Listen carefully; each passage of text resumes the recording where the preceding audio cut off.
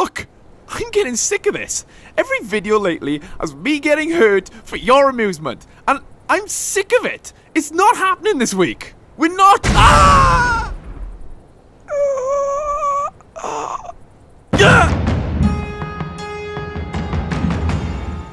Grenades. Oh, how we love grenades. You throw them, you wait, they explode. It's the perfect combination of whoosh, thunk, tick tick, kapow.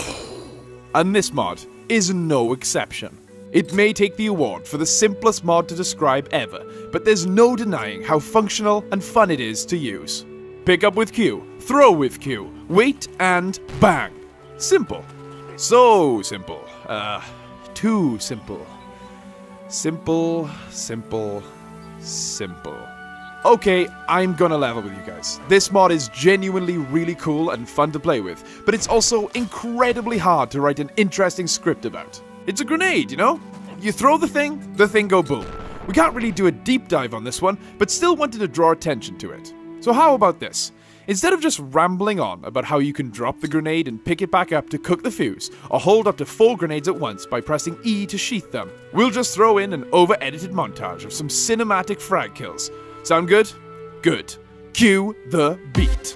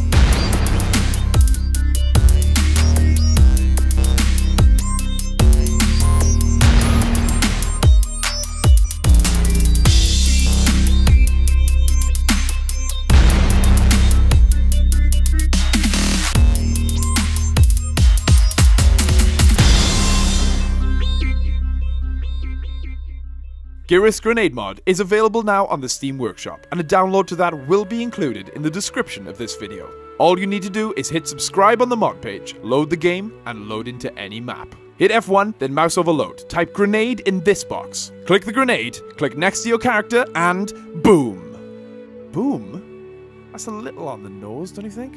We really hope you enjoyed this video. If you did and want to see our next video, you may want to subscribe to the channel and consider turning on notifications so you never miss an upload.